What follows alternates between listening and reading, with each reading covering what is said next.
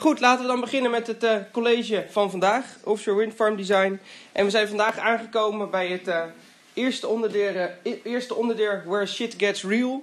En dat is Structure Design en Load Calculations. En dit college en volgend college gaan wij de data die wij in de voorgaande colleges hebben ge ge gecreëerd, dus met de kaarten en met de geometrie van ons voorwerp, die gaan wij gebruiken om nu de constructie door te rekenen op belasting. Dat doen wij. In dit college gaan wij de toren berekenen en de monopaal gaan we berekenen. En voor het college gaan we de jacket berekenen. Dus, welcome to the Math Show. Vandaag is het uh, een hele hoop wiskunde. Dus uh, probeer goed, uh, goed mee te kijken. En dan komen we er wel uit. Want in principe is zo'n windturbineconstructie eigenlijk natuurlijk niks anders dan een ingeklemde balk met een puntlast erop. Maar even zo te zeggen. Heel eenvoudig. Wat gaan we doen? We gaan kijken naar de belasting op de rotor nacelle assembly. Hoe je daarmee moet omgaan. Vervolgens pakken we deze belastingen en gaan we de belasting op de toren berekenen. En vervolgens pakken we weer die belastingen en berekenen we de belastingen weer door op de monopaal. Nou, en wat doen we dan precies? We gaan natuurlijk de belastingen gaan wij berekenen. En dit gaan wij doen per loadcase. Dus let op. We hebben drie loadcases waar we mee rekenen. Dus het is heel erg veel rekenwerk. En het, het loont zich dus om uh, met in ieder geval automatisering te werken door uh, iets van MATLAB of Python. Uh, en anders natuurlijk kan je ook gewoon Excel gebruiken. Nou, en daarnaast resulteert dit natuurlijk uit de nieuwe geometrie van de toren, die wel weer een stap dichter is bij de werkelijke geometrie, waar we op uitkomen als wij meerdere keren dat ontwerpproces doorlopen deze data, daar heb je natuurlijk uh, wat, uh, wat input voor nodig. En we hebben de volgende input nodig, uh, dit college. Um, ten eerste de RNA-data. Wat is dan precies het gewicht? Op welke hoogte zit die? Enzovoort, enzovoort. De weersdata die wij in college 2 hebben verzameld, hebben wij hier natuurlijk nodig. Want we we willen weten wat de windsnelheden zijn. Loadcases die wij gebruiken. In de werkelijkheid zijn er natuurlijk heel erg veel. Wij reduceren ons maar tot drie loadcases in dit geval de preliminary tower data, want je hebt natuurlijk de geometrie nodig van de toren. Um, en je hebt ook het geschatte gewicht nodig van de toren voor je berekeningen, want die dienen als input. Zonder het eigen gewicht van de toren kan je natuurlijk niet de spanning in de toren berekenen, want het eigen gewicht is daar een groot onderdeel van. En daarnaast hebben we ook de preliminary substructure data nodig. Dit wat is dan precies de geometrie van de monopaal en de transition piece. Oké, en wat hebben we nog meer nodig? De design elevations, dus hoe hoog is de toren, op welke hoogte ligt het platform enzovoort. De geometrie, estimations, want daar heb je natuurlijk, uh, kan je gaan kijken wat je spanningen dan precies zijn. Je, dit resulteert in een bepaalde stijfheid. De schattingen van de windsnelheden voor de loadcases die jullie al hebben gedaan en dat hetzelfde voor de golven. Nou, hoe gaat zo'n uh, windturbine ontwerpproces bij uh, ons dan precies? Wat wij doen is we gaan aannemen dat er ten eerste een interactie is tussen ieder niveau van de constructie. Dus bijvoorbeeld de wind heeft een interactie met de turbine en terug. Want wat gebeurt er namelijk? Als jij de rotor groter maakt, dan zal, die natu zal natuurlijk meer wind daardoor worden opgeschept, waardoor de belasting op de rotor groter wordt. En als de rotor kleiner wordt, komen er minder deeltjes uh, tegen die rotor aan, waardoor de belasting ook kleiner wordt. Dus er is een continue interactie tussen de belasting van de wind, of tussen de wind en de rotor. Dat gaat heen en weer. Nou, dit geldt natuurlijk ook voor de toren. Als de toren groter wordt, heb je een grotere dragload.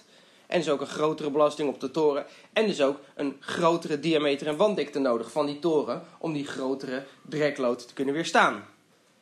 En zo kan je ook richting een bepaald optimum gaan. Dit geldt ook voor de support structure, dus de monopaal bijvoorbeeld. Als die monopaal een grotere diameter heeft, heb je natuurlijk meer belasting als gevolg van je golfslag en je current en dergelijke. En als die kleiner wordt, heb je een lagere belasting. Dus we zijn eigenlijk op zoek naar een bepaald optimum hiertussen. Want als jij de, uh, die monopaal zo heel erg groot wordt, dan kan je natuurlijk voorstellen dat die golfbelasting heel erg groot wordt. En als die heel erg klein wordt, dan kan je je natuurlijk voorstellen dat die belasting heel erg laag wordt, maar dat die constructie bijvoorbeeld gaat bezwijken door het, zijn eigen gewicht. Nou, en dit geldt natuurlijk ook voor de fundatie. Wat we echter niet aannemen, is dat wij de spannings- of belastingsinteractie tussen verschillende onderdelen van de constructie gaan meenemen. Dus wij nemen aan dat als wij voor de turbine de belasting hebben berekend, we al die belastingen mee gaan nemen naar de toren. En als wij vervolgens de geometrie van de toren veranderen, dan heeft dit geen effect meer op de turbine. En dat is natuurlijk eigenlijk niet waar. Want bijvoorbeeld, als jij de diameter van de toren gaat vergroten en je gaat de wanddikte gelijk laten, dan zal de constructie stijver gaan worden. En daardoor zal die anders gaan reageren op trillingen. En dat heeft natuurlijk weer direct effect op de turbine. Dus er is wel degelijk een interactie tussen die componenten. En ook wel degelijk een interactie tussen deze componenten. Maar als je die gaat meenemen, dan krijg je dus een gigantische, complexe uh, benadering. En dat nemen wij niet mee in het preliminaire ontwerp. Dat doen ze ook in het werkveld niet. Daar gaan ze pas later naar kijken. Als je die constructie hebt doorgerekend, dan ga je hem als een FEM-model opstellen. En in het FEM-model kan je dus die belastingsinteractie wel weer gaan meenemen en dergelijke. Ja? Nou, wat is nu uh, voor de rest nog interessant? Bij dat ontwerpproces zijn wij iteratief aan het rekenen. Dus wat we nu hebben gedaan is, we hebben een schatting gemaakt van de geometrie en van het eigen gewicht. En daarmee gaan wij de belastingen op de nieuwe constructie bepalen, waaruit weer een nieuwe geometrie volgt. Dus een nieuwe diameter en wanddikte. En natuurlijk kan je je voorstellen dat die nieuwe diameter en wanddikte, die, uit, die we uit de berekening van vandaag vinden, een betere benadering is voor de geometrie dan onze schattingen. Maar als wij dus die diameter en wanddikte gaan veranderen, dan zien we dus ook dat het eigen gewicht van die toren verandert. Dus wat je eigenlijk moet doen, is opnieuw die berekeningen gaan doorvoeren. En als je dat dan weer doet, dan krijg je dus nog nauwkeurige resultaten. En zo kan je dus door en door en door rekenen. En wat je ziet, is dat het verschil tussen de combinatie van de diameter en wanddikte van bijvoorbeeld de toren, bij iedere iteratie komt die weer dichter bij het werkelijke resultaat. En als je dat dus heel veel keer doorvoert, dan heb je op een gegeven moment dat je ziet van, nou oké, ik heb mijn geometrie bepaald voor iteratie nou, 17 en die is x. Dat, is mijn, uh, dat zijn mijn waarden. En vervolgens ga ik nog een keer itereren en je ziet, nou oké, ik krijg weer een diameter en wanddikte combinatie, maar mijn verschil in geometrie is nu maar 2%. Nou, dat vind ik goed genoeg en dan zeg ik, het is voldoende. Dus je kan dus doorgaan met berekenen en iedere keer bereken je wat dan het percentage is van de verandering van de constructie. En op een gegeven moment zeg je van nou oké, de veranderingpercentage is zo klein, we gaan niet mee akkoord en we gaan door naar de volgende ontwerpstap. En dit noemen we iteratief ontwerpen. En jullie doen voor deze opdracht alleen maar de eerste en de tweede iteratie. Waarbij de eerste iteratie dus de schatting van de geometrie is. En de tweede iteratie is dus met behulp van de spanningen en dergelijke. Nou, met welke load cases waren wij ook weer aan het, uh, aan het werken? Dat waren de volgende die hier in deze uh, tabel stonden. We hebben ten eerste de load case waarbij we aannemen dat de turbine operationeel is. Dus bij de RNA waait het dan met de rated wind speed. Vervolgens hebben wij de golven en we simuleren dat er een 1 jaar maximale storm is. En wist natuurlijk dat voor deze, uh, uh, deze loadcase de belasting op de nacel hier maximaal was. Dat konden wij het vorige college zien. De tweede loadcase die we gaan uh, bekijken, dan simuleren we ook weer een storm. Dus daar is de turbine is geparkeerd. Um, en daarbij hebben we een 50 jaar gereduceerde storm. Dus dat is de 50 jaar gemiddelde windstoot die in een storm kan optreden. En daarnaast beschrijven we, we alsof de um, het, het golfklimaat alsof dat 50 jaar maximaal is. Dus we hebben een gigantische golf die er tegenaan klapt en dat gebeurt één keer in de 50 jaar. En de derde loadcase, daar nemen we aan dat we een 50 jaar maximale storm hebben. En we hebben een 50 jaar gemiddeld golfklimaat. En waarom deden we ook weer niet dat wij een 50 jaar maximale golf en een 50 jaar maximale windstoot pakten tegelijkertijd? Omdat dat iets is wat maar één keer in de 10.000 jaar voorkomt. En als je daarvoor gaat ontwerpen, wordt je constructie veel te stijf en veel te duur en veel te zwaar. Nou, oké. En nu gaan wij dus voor ieder onderdeel van die constructie gaan wij de drie load cases beschouwen. Dus we beginnen bij de turbine.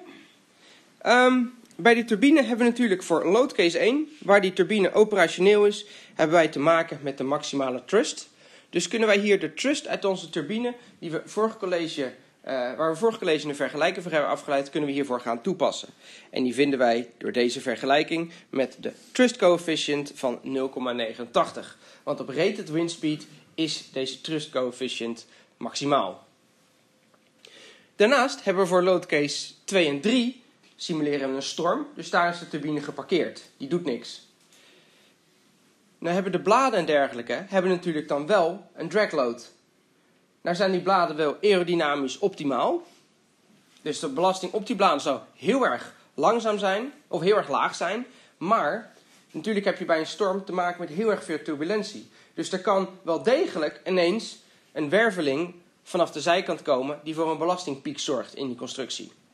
En op die manier nemen we toch nog een bepaalde manier van belasting op die uh, turbine mee. En dat doen we door middel van het beschouwen van drag.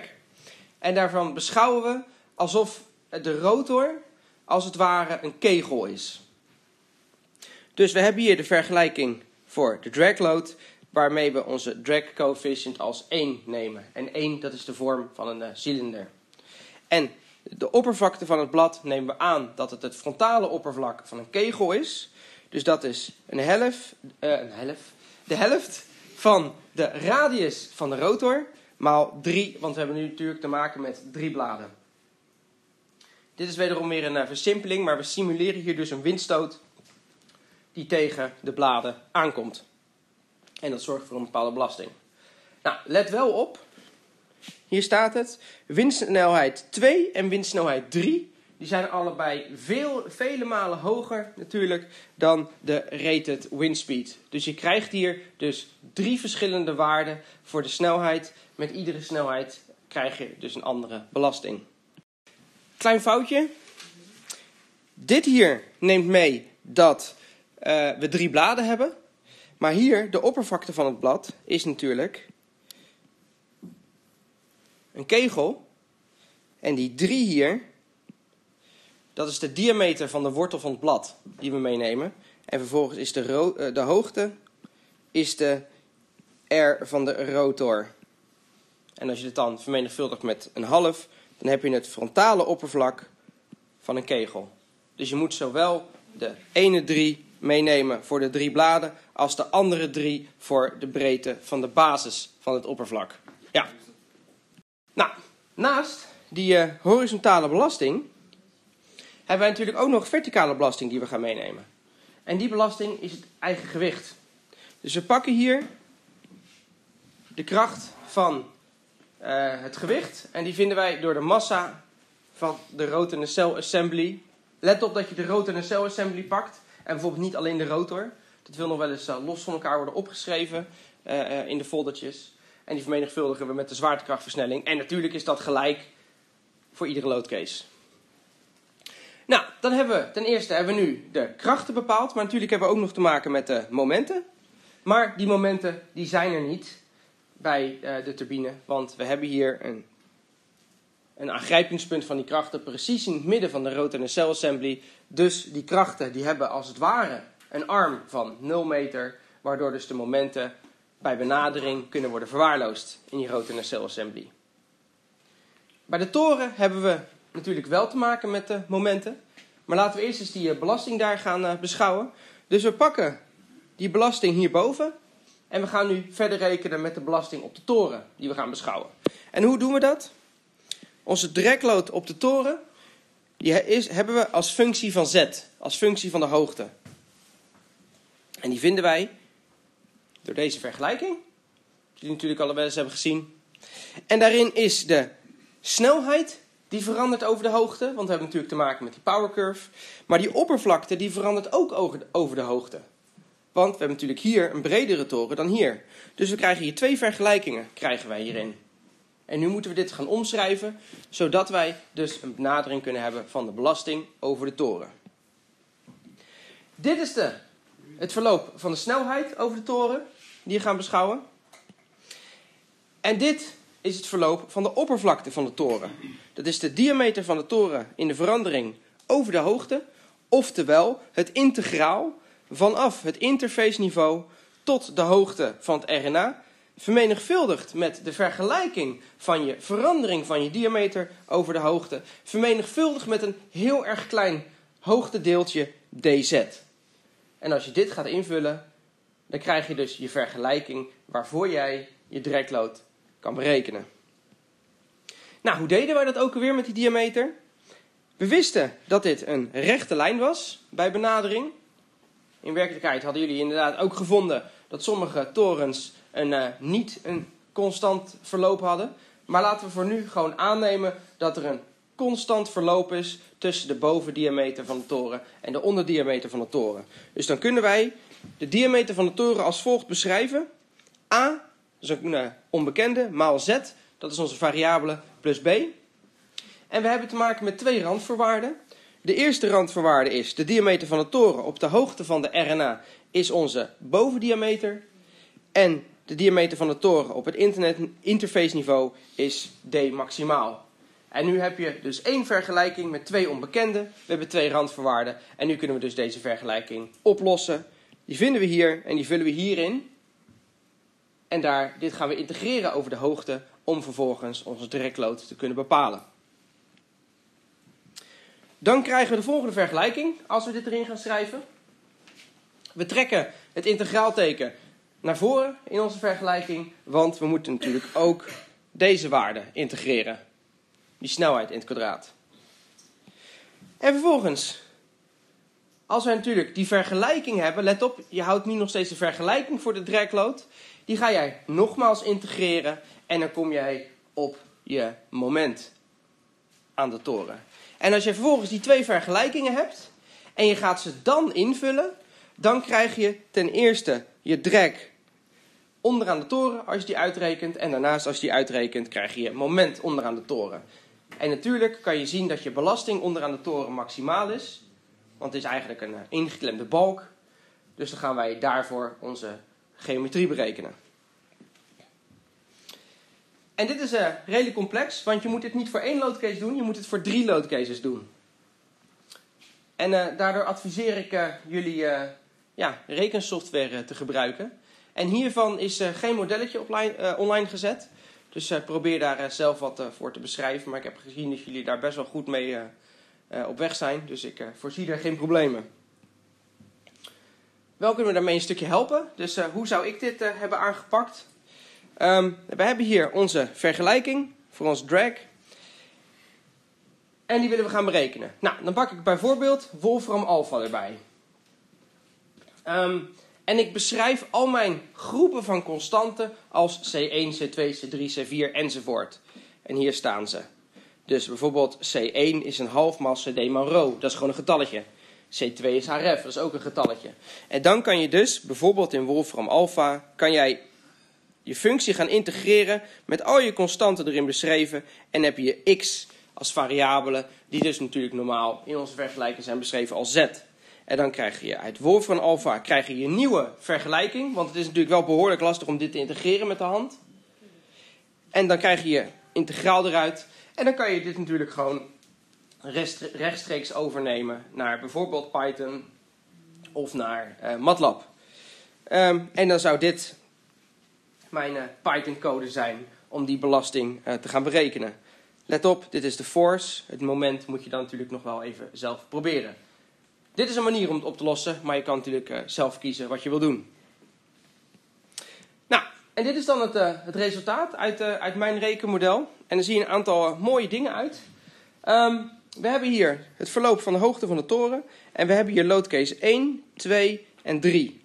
Dit is de axiale belasting in deze richting over het verloop van de toren.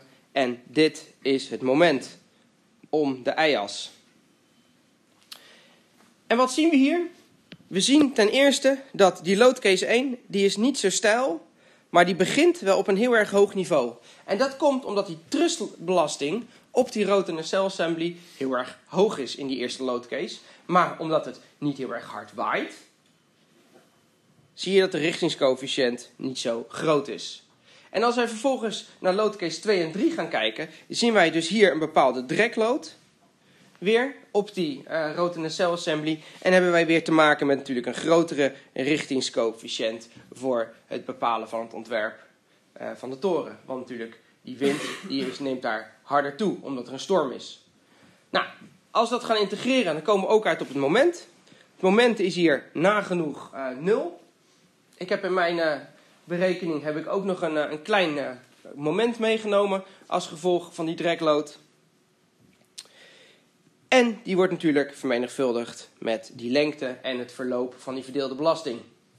Nou, en wat je dan ziet is als jij dus hiermee gaat ontwerpen, de geometrie van je toren, dan zal je zien dat dit eigenlijk de ontwerpvariabelen zijn waarmee jij je geometrie bepaalt. Dus je ziet boven in de constructie is loadcase 1 leidend voor de geometrie. En onderaan de toren is een combinatie van loadcase 3 en loadcase 1 hier leidend voor de toren. En zo zie je dus dat je wel degelijk die drie loadcases nodig hebt om je constructie door te rekenen, omdat die belasting gewoon varieert door de constructie heen. En dat zien we straks ook terug um, bij de berekening van de monopaal. Daarnaast moeten we ook nog um, ons eigen gewicht van gaan bepalen. En uh, in dit rekenmodel is dus een iteratie uitgevoerd totdat we bij een optimum uitkomen. En dan zie je dus heel mooi dat het verloop van uh, dat moment, of het verloop van de, even kijken, wat is het? Van het eigen gewicht niet een rechte lijn is.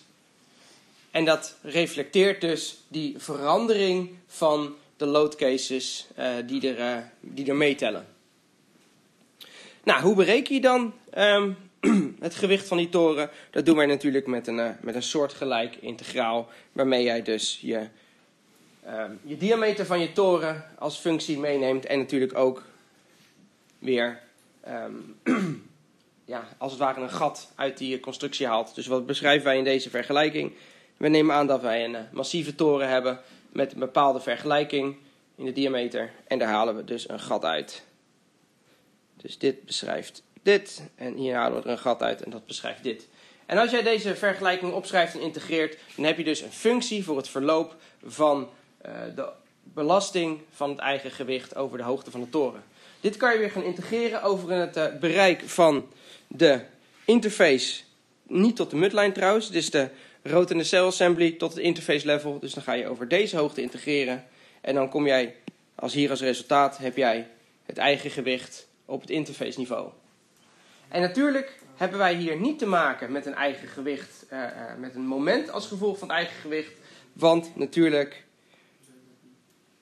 die vectoren die lopen precies over de horizontale of de verticale as uh, van de toren en hebben dus daarin een arm van 0 en dus geen moment. Dus het eigen gewicht zorgt niet voor een moment in de constructie.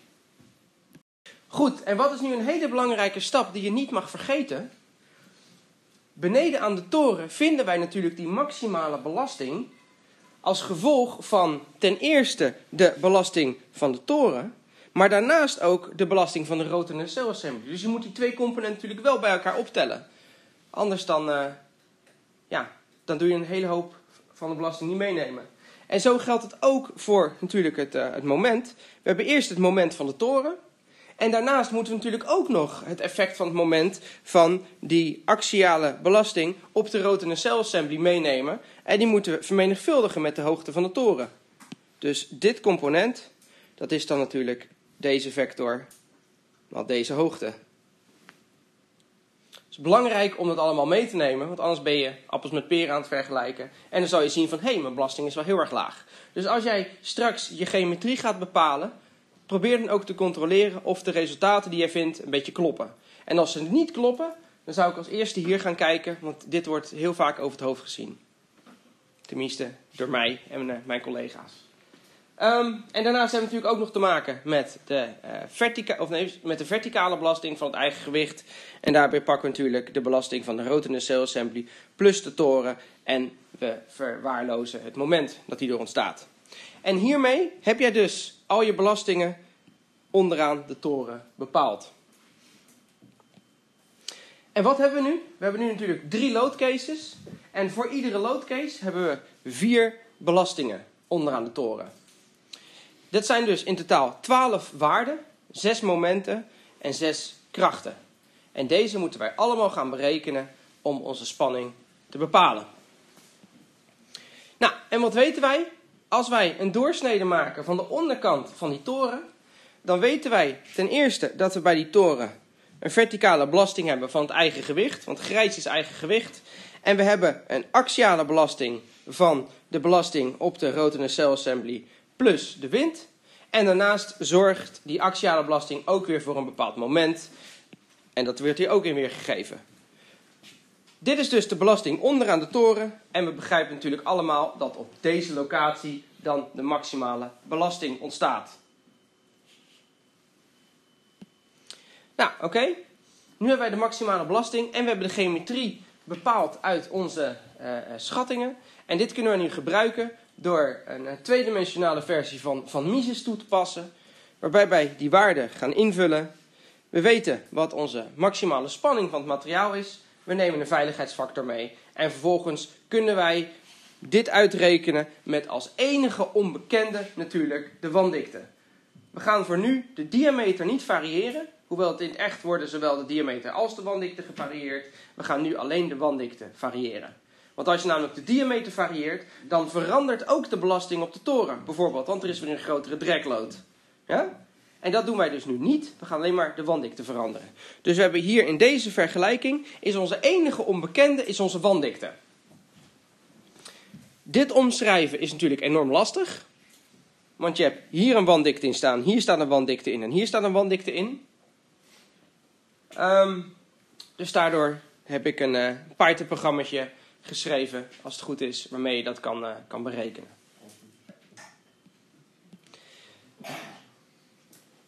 Nou, tot slot, wat is ook nog even belangrijk om mee te geven, en ik heb het al gezegd aan het uh, begin van dit college. Wij nemen nu aan dat er geen verbinding is tussen de belasting van de wind op de toren en terug. En dat nemen wij aan, dat kunnen wij aannemen omdat wij de diameter van de toren hetzelfde houden. We doen alleen maar de wanddikte variëren. Maar natuurlijk, als jij die diameter van die toren besluit te variëren, dan verandert de belasting op die toren ook. Dus dan moet je echt die hele berekening opnieuw gaan doorvoeren. En in werkelijkheid gebeurt dat ook, maar wij doen dat voor deze opdracht uh, niet. Ja? En dan krijg je een resultaat. En het resultaat is uh, ja, hier weergegeven. Voor, uh, ik geloof dat dit uh, voor Prinses Amalia Windpark is. Um, en hier is deze berekening uitgevoerd voor zowel een verloop van de diameter als een verloop van de wanddikte over de hoogte. En waarmee dus wel die belastingsinteractie is meegenomen tussen de wind uh, en de veranderende geometrie van de toren. En dan zie je dus dat je een bepaalde toename hebt in de diameter en ook een bepaalde toename hebt in de wanddikte. En in deze berekening is dus zowel belasting als knik meegenomen. En wij gaan voor onze berekeningen dus alleen maar uit van de belastingen aan de bodem. En dan zou je dat dus kunnen beschrijven over de hoogte. Dat is het nog niet helemaal exact, maar goed genoeg, want je begrijpt in ieder geval wat je moet doen. En we hebben zojuist hebben wij uh, de geometrie van de toren berekend. Of in ieder geval besproken hoe we de geometrie van de toren kunnen berekenen.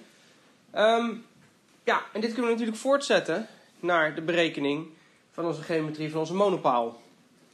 Hiervoor hebben wij eh, de volgende data nodig. Uh, en dat is de data die wij in les 2 hebben bepaald. Dat is um, dit plaatje. En daarin zien wij voor iedere loadcase ten eerste de snelheid in meter per seconde. En daarnaast zien wij een vergelijking voor onze acceleratie. Dit is wederom weer een enorme versimpeling. Um, in jullie module Ocean Waves kunnen jullie zien hoe je dat uh, nauwkeuriger kan benaderen. Maar voor nu zijn we eventjes alleen maar geïnteresseerd in dit te gebruiken als een uh, grove input. Um, zodat we kunnen leren hoe wij dit kunnen omzetten in belasting op onze constructie. Dus we hebben hier nu weer uh, zes vergelijkingen. Die rollen ook hier uit. En die gaan wij vervolgens in de Morrison equation stoppen. Um, ja, en ik googelde deze voor het eerst. De Morrison equation. En toen kreeg ik een fotootje van Jim Morrison. Maar dat, uh, dat werkt natuurlijk niet. Jim Morris die maakt van drugs en alcohol, stop je erin er komt muziek uit. Wij hebben een andere. Wij stoppen de Airy Theory stoppen we erin. Dus dat is hetgene waarvan onze grafiek is gevormd. En daaruit komt onze belasting. Dat is de Morrison equation met de 1R. Dus Dus uh, let er goed op. Morrison is niet met twee R, dan heb je deze dude. Ja? Uh, dus wij hebben die Airy golftheorie. Dat is de lineaire golftheorie. Jullie al voorbij hebben zien komen bij, bij Ocean Waves. Die gaan wij toepassen. En dan komt de belasting eruit. En wat wij daarmee eigenlijk simuleren, is wat dan, is wat dan, is dan precies de belasting op zo'n monopaal als gevolg van een bepaalde golf. Nou, oké. Um, dit is die, uh, die Morrison equation. Die Morrison equation die heeft, uh, die heeft twee onderdelen. Het eerste onderdeel is het, uh, de, het onderdeel. Dat beschrijft dus wat de belasting is als gevolg van het tegengehouden volume aan water.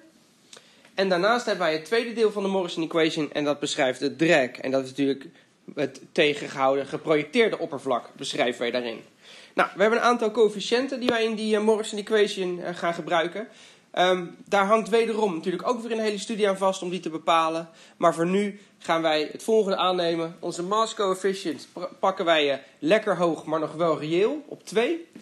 V is het, de obstructed volume, dus het tegengehouden volume van het water dat om zo'n monopaal heen stroomt. U punt is natuurlijk de afgeleide van de snelheid. Dat is een vergelijking. Dus dat is de vergelijking voor de acceleratie. Um, dat is het eerste onderdeel. En daarnaast is het tweede onderdeel van de Morrison equation natuurlijk de drag. Waarbij A is natuurlijk het uh, tegengehouden oppervlakte. De drag coefficient nemen we hier als de drag coefficient van een uh, cilinder. En die uh, zetten wij op een half. En daarnaast is natuurlijk U maal absoluut U is de snelheid van je deeltjes. Je waterdeeltjes. Nou, oké. Ehm, dit gaan we invullen. En dat kunnen wij op dezelfde manier doen zoals we dat bij de toren hebben gedaan. We zetten de, het volume om, zetten wij in, om in een, uh, in een vergelijking. En de vergelijking voor het volume van zo'n monopaal is natuurlijk de diameter van de paal in het kwadraat, maal pi gedeeld door 4. Wat is het ook alweer? Dat is de oppervlakte, hè? van die monopaal. En dat integreren wij over de hoogte van de mudline, dus vanaf hier, tot de maximale wette zone. Dus we simuleren als het ware alsof er een gigantische golf tegen die constructie aankomt. Dit breiden we ook uit voor um, dat geprojecteerde oppervlak.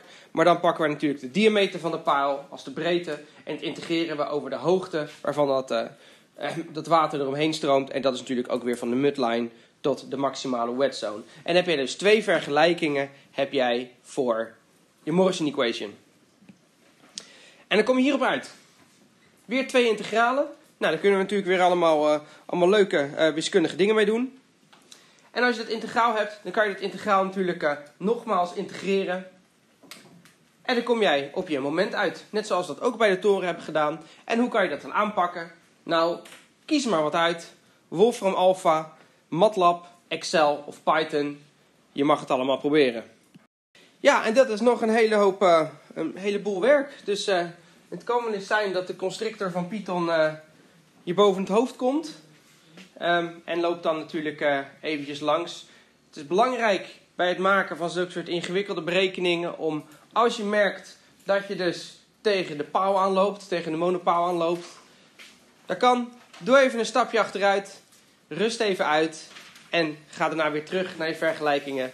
En dan uh, kan je hem waarschijnlijk wel oplossen. Dus neem je tijd. Dat is denk ik het, uh, het belangrijkste. Probeer niet te pushen en alles in één keer te doen. Stap je terug, dat geeft heel veel ruimte. En als je dan eventjes wat anders gaat doen, dan schiet het vaak gewoon bij je naar binnen. Wat je moet doen. Nou, oké. Daarnaast hebben wij natuurlijk ook voor iedere loadcase te maken met het, met het gewicht van de constructie. En voor deze berekening nemen wij aan alsof de monopaal en een transition piece één doorlopende constructie is. Dat is natuurlijk in de werkelijkheid niet het geval. Tenzij je een geboute verbinding aanneemt. Maar voor het gemak doen wij dat dus ook. Dus dan zien wij, dan beschrijven wij de monopaal en transition piece als één recht doorlopende paal. Maakt de boel een beetje makkelijker. En vervolgens kan je dit natuurlijk weer eh, gaan integreren, net zoals in de toren is gedaan. En dan vind jij de verticale belasting als gevolg van het gewicht. Um, en natuurlijk, wederom is er hier weer geen moment als gevolg van het eigen gewicht, omdat de vector, de krachtvector van het eigen gewicht zich over de neutrale lijn van deze constructie bevindt. Dus geen moment. En het reken je weer uit met, uh, ja, je favoriete rekenprogramma naar keuze. En wat krijg je dan als je dat hebt gedaan? Dan heb je natuurlijk je belasting bepaald voor je substructure, dus je monopile en transition piece. En dan moet je weer terug, want je moet je belasting van de toren en die RNA moet je natuurlijk ook weer meenemen. Die kan je niet vergeten, want die belasting loopt natuurlijk ook overheen. En dat moet je weer beschrijven. En dat heb ik uh, hier gedaan. Dus vergeet het niet. We hebben de maximale belasting axiaal in newtons. Dat is natuurlijk de belasting van de rotary cell assembly voor iedere loadcase. Plus de toren voor iedere loadcase. Plus de Morrison voor iedere loadcase. Dus hier moet natuurlijk ook 1, 2, 3 achter komen te staan. En vervolgens hebben wij dat natuurlijk ook weer voor het moment. En bij dat moment moet je de rotary cell assembly kracht bijvoorbeeld nemen, vermenigvuldigd met de afstand van de rotary cell assembly tot de midline. Je pakt de belasting van de toren, de som ervan hier beneden, en die vermenigvuldig je met deze arm. En vervolgens tel je dat moment van de toren, dus het moment veroorzaakt door dit, wat dus hier staat, tel je erbij op. En zo ook voor de Morrison equation voor iedere loadcase. Ja? Vergeet dat niet, anders komt je belasting niet overeen met de werkelijkheid. Voor het eigen gewicht. Precies hetzelfde verhaal natuurlijk. Maar het moment is hier heel erg uh, makkelijk. Dat is 0 plus 0 plus 0. En het gewicht van uh, de individuele componenten van de constructie vinden we weer door de som ervan te nemen. Dus de som van de RNA, de toren, de transition piece en de monopaal. En wij gaan nu alleen maar uit tot de belastingen tot op de midline. Want vanaf de midline wordt de belasting namelijk weer minder. Want er wordt langzaam die belasting overgegeven aan dat substraat, aan de bodem. Dus daar zal de belasting hier maximaal zijn. Ja? Wat is het resultaat? Wederom weer drie loadcases hadden we natuurlijk. En we hebben weer vier belastingen per loadcase. En dat resulteert weer in 12 waardes, 6 krachten en 6 momenten. En natuurlijk kan je nu weer dezelfde vergelijking gaan doorvoeren om de maximale belasting achteraan de monopaal te bepalen op deze locatie. En let dus op, we nemen hier als het ware aan alsof alle wind- en golfbelasting allemaal uit dezelfde richting komen. Maar in de werkelijkheid varieert dat natuurlijk heel erg. Hè? Het kan zijn dat de wind van de ene kant aankomt en de golfslag van de andere kant aankomt. Dit is echt een sommatie van het maximum. En dat kan, want dit, dit zorgt voor een bepaalde maximale spanning. Maar deze situatie zal vrij weinig voorkomen. Maar ja, als die, als die, als die eens een keertje voorkomt, dan moet je natuurlijk je constructie er wel tegen, eh, tegen bestand zijn. Ja, en dan die belastingen. En dan gaan wij op dezelfde manier gaan wij weer um, onze wanddikte berekenen. Dus we pakken weer dat programma erbij. We vullen onze per loadcase, onze, ons eigen gewicht in, ons overturning moment en onze axiale kracht en delen dat door de geometrie van die doorsnede. En als je dat gaat doen, dan kan je hier natuurlijk, heb je als enige onbekende, heb jij de wanddikte. En vind jij daar de wanddikte die nodig is bij de midline. En als je dat hebt gedaan, dan heb jij je hele nieuwe geometrie van je constructie bepaald. En dan kan je natuurlijk het nieuwe eigen gewicht bepalen. En dan kan je zien wat je gewichtreductie is door het uitvoeren van deze berekening. Um, en ja, op zich kan je dan weer opnieuw die hele berekening uitvoeren, want het eigen gewicht is afgenomen als het goed is. En heb je daarna weer een nauwkeuriger antwoord. En zo blijf je doorgaan totdat je dus geen variatie meer hebt. Maar dat hoeven jullie niet te doen. Zo gaat het uh, in de praktijk. Nou, oké. Dus wat hebben we nu aan het einde? We hebben een semi-optimale basisgeometrie hebben wij gevonden. We hebben de diameter van alle onderdelen en we hebben de wanddikte van alle onderdelen. En je kan nu dus per onderdeel het eigen gewicht gaan berekenen.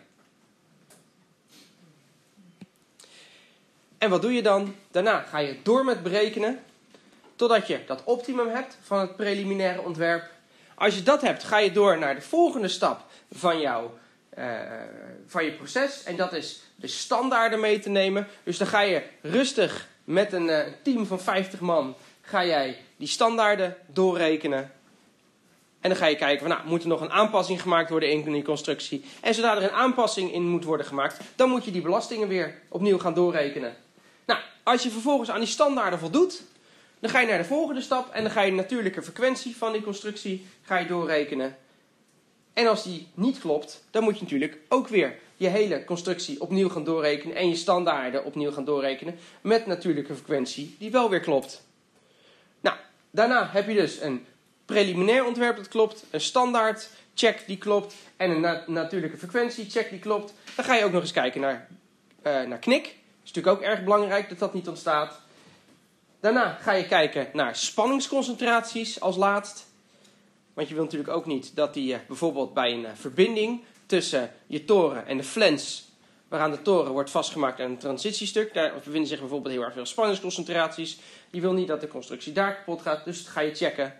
En zo ga je door en je sluit af met je interactie met de bodem. Want je wil natuurlijk ook dat dat ding netjes op zijn plek blijft.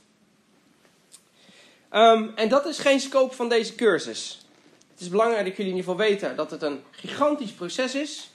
Maar wij uh, beperken ons binnen deze module alleen maar tot het preliminaire ontwerp.